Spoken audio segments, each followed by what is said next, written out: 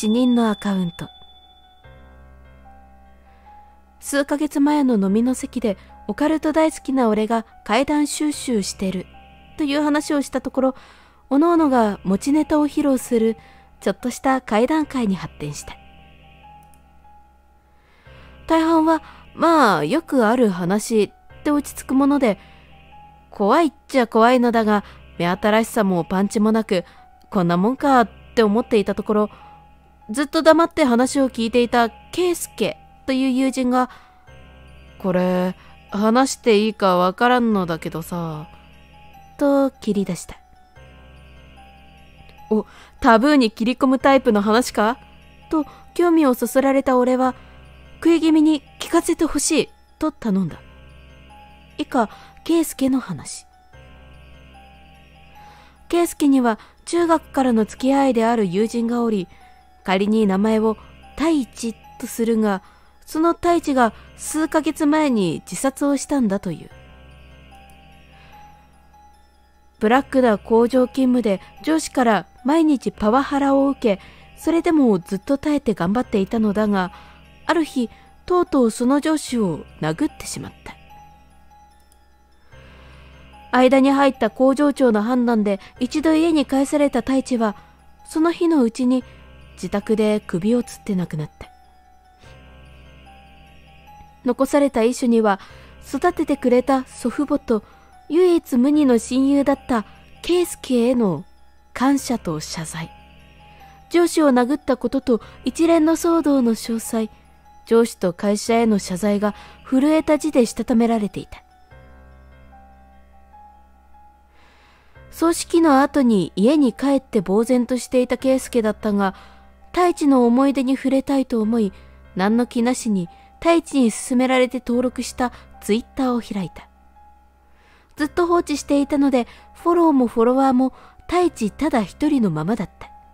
太一のツイートを確認すると、死の間際までツイートがされており、内容といえば、疲れた、しんどい、などの言葉や上司に対する愚痴が2、3日おきにつぶやかれている。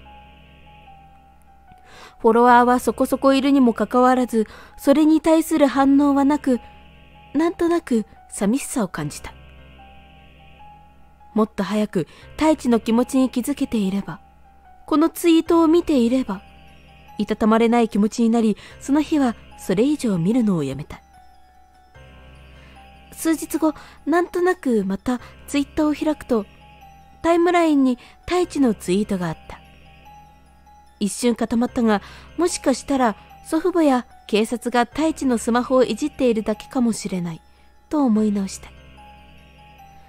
ツイートの時間は3時間前となっており、空欄のまま5秒の動画が添付されている。真っ暗な画面に5秒の無音。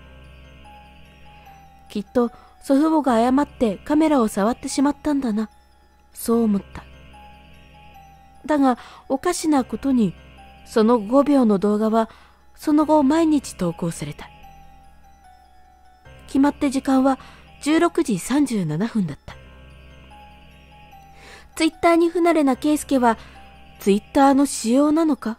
とも思ったし、何かしらのバグなのかとも思った。だが、それが一週間ほど続いたある日、動画にちょっとした変化が現れる。その日の動画はいつもの真っ暗ではなく、夕暮れに染まったどこかの室内だった。そして、圭介は気づいた。間取り、カーテンの柄、映画のポスター、マーベルヒーローのフィギュア。ちょっとガキっぽいパソコンデスク、それらすべてに見覚えがある。太一の部屋だ。太一の部屋がなぜだか俯瞰撮影されているようだった。断続的に繰り返し流れ続ける5秒の動画。少しためらったものの動画をタップして拡大させる。拡大と同時に音声も流れ始めてまた驚く。今度は無音ではなくじーという機械音みたいなものの奥でおえつするような声が入っていた。しばらくそのまま呆然とスマホを見つめていたが、はっとしてタイムラインに流れるままだった過去の動画も拡大させ、音声をつけて見てみることにした。そこには真っ暗な画面の中、ひたすらにおえつを漏らし、時折、ごめんなさい、とつぶやく太一の声が入っていたんだ。圭介は泣いた。助けられなかったことを悔やみ、また苦しんだ友への惜別の念からだった。翌日も翌々日もツイッターを開いて動画を見る。そして太一が亡くなって2週間目のこと。動画の死角になる場所から手にロープを持った太一がゆっくりと姿を現し、ロフトへと向かう映像が投稿された。やめろ。そう言いながらも、圭介はスマホを片手に食い入るように動画を見続けた。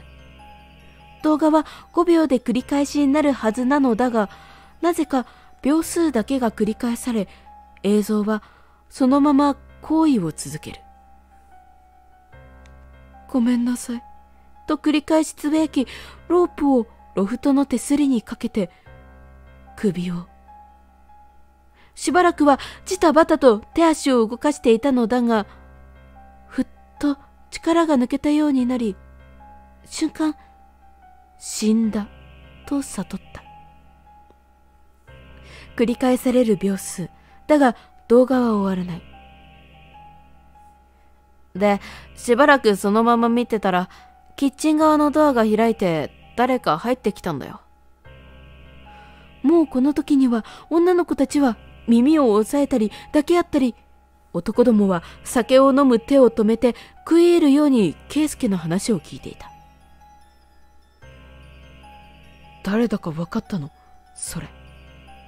俺が聞くと圭介は顔を伏せて少し詰まりながら答えた。俺。いや！と女の子が小さく叫びなんだよそれ怖えよ。どういうこと？と個室が騒然となった。わからない。けど、あれは俺だった。カメラに近づいてきて回収してたから、顔はドアップで見てる。そういう圭介の顔は笑っている。その笑顔を見た友人の一人が、なんだよ、作り話だろ、もう。と安心したように言うと、それに乗じてみんなも、怖ー、意外な才能だな。と、一転和やかなムードに変わった。圭介はそれに否定も肯定もせず笑っているだけ。確かに葬式に参列するほど仲良くしていた友人の自殺をこんな風に怖い話として披露する奴の気が知れないし、何より圭介はそんな奴でもない。きっと太一という友人もフィクションに違いないと思った。そうであってほしいという願望でもあったかもしれない。そして、ここからはその後の話。飲み会が終わり、家に帰ると、圭介から LINE で、ツイッター動画のリンクが送られてきた。TAI さんはツイッターを使っています。夕焼けに染まる部屋のサムネイル。ぞっとした。例の話、本当だったのか？さすがに聞く気になれず、かといって削除するのもと思った俺は、幼馴染であり、霊能力がある八潮大先生に相談しようと思い立った。八潮はこういうことを心底嫌うので、相談内容は伏せたまま、俺んちでゲームしながら飲もうと、その場で LINE して、数日後に会う約束を取り付けた。当日、いい具合に酒が回り、ウィーのマリカーを懐かしみながらやるヤシオ。そろそろいいかなと話を切り出そうとしてスマホを手に取ると、ヤシオはキョロキョロと辺りを見回し、その視線は俺のスマホにロックオンされた。ヤシオは苦虫を噛みつぶしたような非常に不快そうな顔で俺を睨むと、お前、またなんか変なことしてんだろう。と、ため息混じりに言う。さすがっすね。と、言い終わらないうちに、すぐ消せよ。あと、そいつとはもう関わるな。もう手遅れ。と吐き捨てるように言い、マリカーを再開させた。動画を削除しながら、手遅れとは、と聞くと、ヤシオは少し間を空けて、魂、と一言だけ言った。それ以上聞けるような雰囲気ではなくなってしまい、忘れるようにして、俺もマリカーに参加したんだった。その後、ケイスケとは連絡を取っていない。俺も俺の友人たちもなぜだか自然と連絡を取らなくなり、ケイスケから連絡が来ることもなくなった。今、圭介が無事でいてくれることだけを願っている。